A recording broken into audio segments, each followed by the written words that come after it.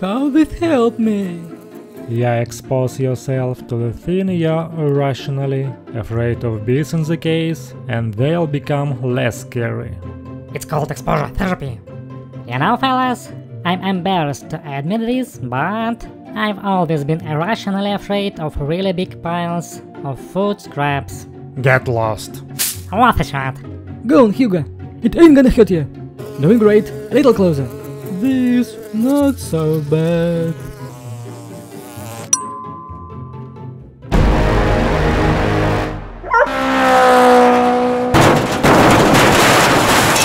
How does such a big dog move so fast? Adrenaline. And why does he always go straight through the fence? Adrenaline. I hate this scene. I can't scratch the rush on my neck with it on. That's why they put it on you, genius. I won't heal if I keep scratching it. Well, I wouldn't have scratched if I knew I'd have to wear the awful thing. If you knew, I explicitly warned you this would happen.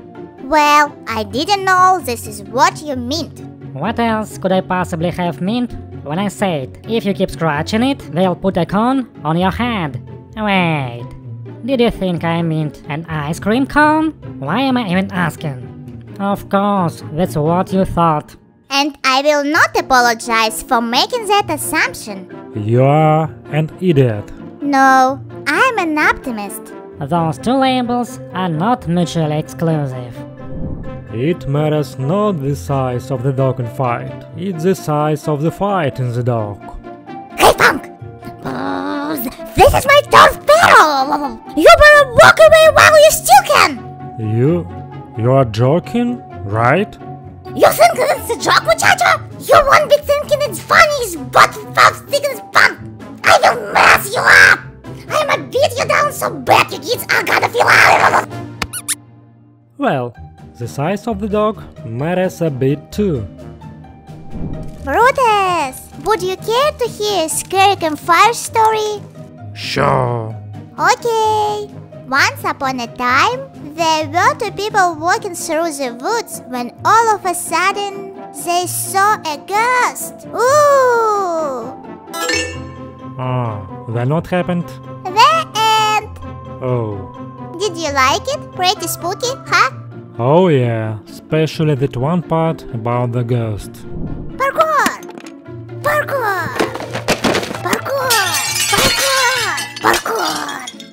Parkour? Ah, that's look a bit too far, don't you think? But... Whoa! You good? Almost made it. You weren't even close. Fresh pumpkin? Don't mind if I do. the, the pumpkin ate Randall! Huh? Uh, I mean, yes, I ate Randall. For I am a living pumpkin. Monster. Pain. Oh no! Oh yes, come closer, little kitten. And I'll eat you too. The pumpkin's alive! The pumpkin's alive! Psh, dumb furball. Spit him out! What the? Spit him out right now! Randall, you're okay! Yeah? You, uh, you'd risk getting eaten by the pumpkin monster to save me? Well, yeah. Wow. Uh, thanks, I guess. No problem. It's what friends do. Right, Brutus? Uh, right. How are you so big but so snaky at the same time? Leave. Leave.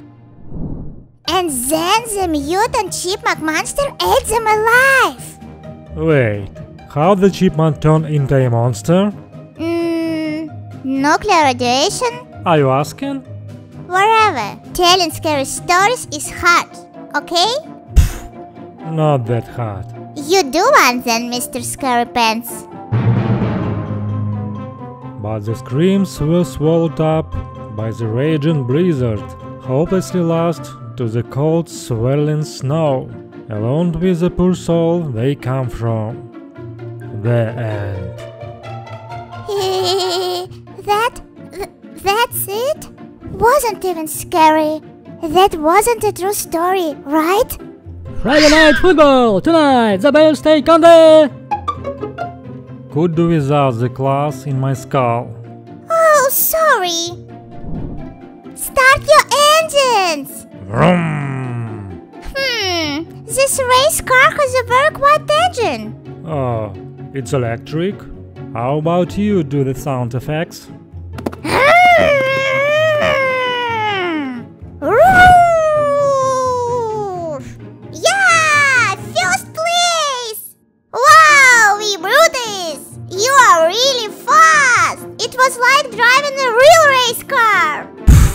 That was just a joke. Didn't want you getting hurt. Let's head inside now. Okay! I'm getting too old for this. Hmm. I wonder what color Hugo's eyes are. I don't recall ever actually seeing his eyes.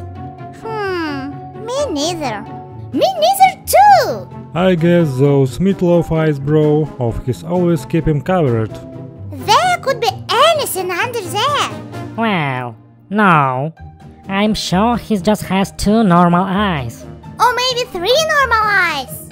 Or three rainbow eyes. I'm gonna risk it and bet on the first one.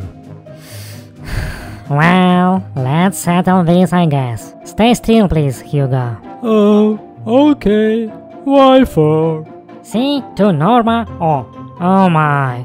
Well, I was half right. Was the third right. Me confused. So, Hugo, how did you lose your eye?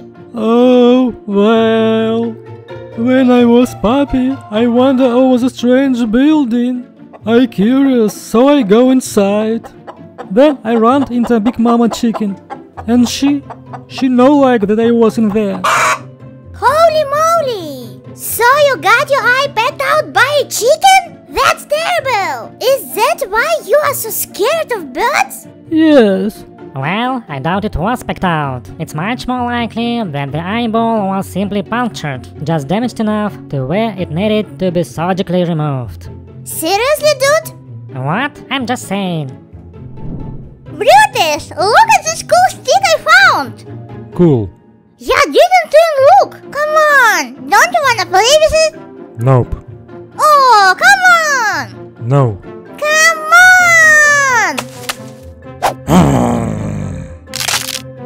Jeez, you could just said no! I did. Twice. Well, joke's on you! Now I got two cool sticks! You're welcome. Now, please go away. Pixie, that's you? Oh, have you seen Pixie? No, I just came to ask. Did you uh, perhaps uh, tell Lola that there is T-Rex skeleton buried in your background? Yeah, I did. So she'd go away and stop annoying me. Well, can you please tell her that you were lying? Why? She hasn't figured it out yet? Respectfully, you really are to know by now how gullible she is. She's been digging on stuff for the last seven hours. Oh, for Pete's sake, Lola, there is no skeleton. I was messing with you. Right. Let me do all the work, then trick me into leaving so you can steal all the glory. What?